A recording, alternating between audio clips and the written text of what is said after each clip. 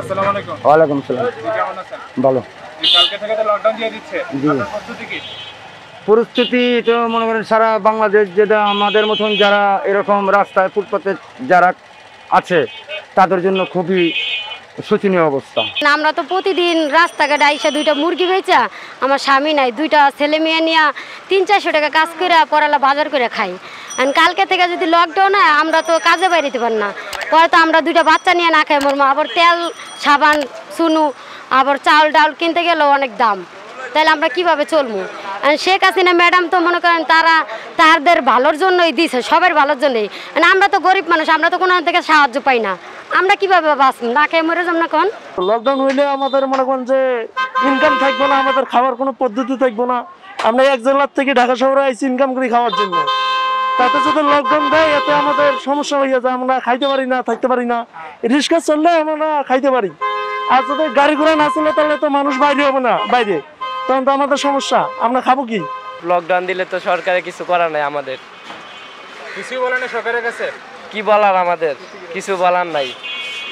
সরকারদের অনুরোধ লকডাউন না দিলে আমাদের জন্য ভালো হতো। কিন্তু দিয়ে সাহায্য পাওয়া যাইতেছে না গরিব দুঃখের কত না খায় মরতাছে। আর এইভাবে লকডাউন দিলে মানুষ কীভাবে খায় বাসে কত মানুষ না খায় মরতাছে? এমনি করোনা রুগী মরবে একজন আর না খায় মরবে দশজন। তখন কি করব মানুষ? আমাদের এই দোকান দিয়া পাঁচ সাতজন ফ্যামিলি চলে। যদি লকডাউন দেয় আমাদের দোকানদারে যদি বন্ধ হয়ে যায় তাহলে আমরা কীভাবে চলবো? সরকারের কাছে আমাদের আবেদন হলো এটা। গত লকডাউনে কোনো সাহায্য পেয়েছিলেন? আমরা পাই নাই। দিছে অনেক জায়গায় কিন্তু আমরা পাই নাই। গত লকডাউনে কি কি সমস্যা ফেস করছিলেন? গত লকডাউনে অনেক ধরনের সমস্যা হয়েছে। চলাফেরার সমস্যা মাল আনতে পারি নাই। অনেক অবস্থা খারাপ ছিল। সরকারের কাছ থেকে কোনো ত্রাণ পেয়েছিলেন? জি না। চাওয়া আছে সরকারের কাছে? চাইলো ভাই আর কোনো লাভ নাই। সরকার তো দেয় দেয় ঠিকই আমরা পাই না। আমগরে যে আমরা এমবে না আমগরে যদি কয় দশটা দোকানদারি করে দশটা মধ্যে করুম আবার যদি কয় পাঁচটা করব করুম আমগো তো কিছু নাই। আমগরে সরকার যে এমবে দেয় এমবে আমরা করুম সব কিছু বদ জিনিসপত্র দাম বাইরে জায়গা। যেমন আগে আলু আলু আছিল ষোলো টাকা অনেক জায়গায় আছে বিশ টাকা। কালকে পেজ পঁয়ত্রিশ টাকা আজকে আর চল্লিশ টাকা। খালি সরকার ঘোষণা দিয়েছে লকডাউনে তাই দাম বাইরে গেছে। গত লকডাউনে কি কি অসুবিধা লকডাউনের অসুবিধা হয়েছে আপনার বৈশা বৈশা বাসা বাসা রয়েছি।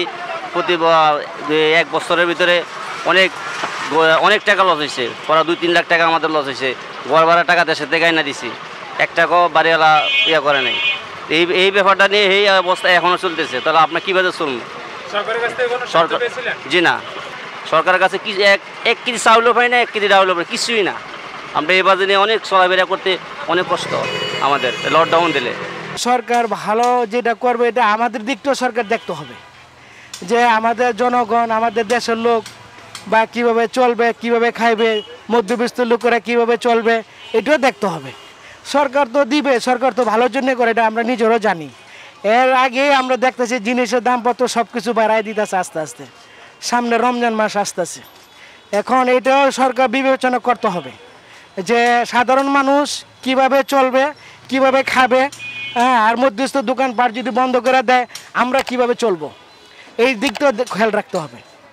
সরকার যেটা করবে এটা ভালোর জন্য করে এটা আমরা নিজেরও জানি কিন্তু এটাও আমাদের দিকে দেখতে হবে। গত তারপরে লকডাউনে কি কি অসুবিধা হয়েছিল? গত লকডাউনে আপনার অনেক অসুবিধা হয়েছে। আমি প্রায় বিশ বাইশ দিন বাড়িতে বসে ছিলাম কিছু টাকা পয়সা যদি খায় আমি লাস্টে এদিক সেদিকে একটু কিছু সাহায্য মার্য দিয়েছিল ওটি পাইছিলাম। সরকার থেকে সাহায্য পেয়েছিলেন? আহ, সরকারের পাইছিলাম কিছু তারপর মহল্লার মধ্যে কিছু যারা প্রভাবশালী লোক আছে তারা দেখশন করছে। সরকারের কাছ থেকে কি কি চাওয়া আছে? সরকারের কাছ তো চাওয়ার আছে কিন্তু সরকার তো দেয় ঠিকই কিন্তু আমি এই পর্যন্ত একবার পাইছিলাম আর পাইনি। এই লকডাউনে সরকারের কাছ থেকে কোনো কিছু চাওয়ার আছে? অবশ্যই সরকার যদি মনে করেন লকডাউন দিচ্ছে ভালো কথা যত গরিব লোক আছে সব তো দেয় সরকার বলে টাকা দেয় এটা দেয় ওটা দেয়। যত পদ্ধতি দেয় এগুলো তো গরিব মানুষ পায় না কোনো রিস্কাওয়ালা পায় না। তাইলে যদি লকডাউন দেয় গাড়ি ঘোড়া বন্ধ করে তাহলে আমরা কি খেয়ে বাঁচবো? গত লকডাউনে আমি প্রথম লকডাউনের সময় বাড়িতে গেছিলাম টাকা খরচ করা। পনেরো রোজায় আমি খুব কষ্ট করে বিশ ঘণ্টা পর ঢাকায় গিয়ে রিক্সা চালায় আমি তারপরে খাইছি। নাহলে আমার বাড়িতেও খাওয়ার সমস্যা। আমার তো পরিবার আছে। সরকারের কাছে কোনো ক্ষোভ? সরকারের কাছে আমার বলার একটাই যে এমনি চলছে দেশ এমনি চলুক কিন্তু লকডাউন দিলে আমাদের সমস্যা। আমরা খাব কি? এই লকডাউন যে দিয়ে দিচ্ছেন আগামীকাল থেকে? জি, জি। প্রস্তুতি কি? এটা ভালো হয়েছে লকডাউন দিছে দেশে অসুখ ভালো হোক। দোকান টোকান তো সব একদম ক্লোজ তাহলে আপনার কোনো ইনকাম সোর্স আরে আল্লাহ চালাইবো। এইটা টেনশন করে না আরে আল্লাহ চালায়।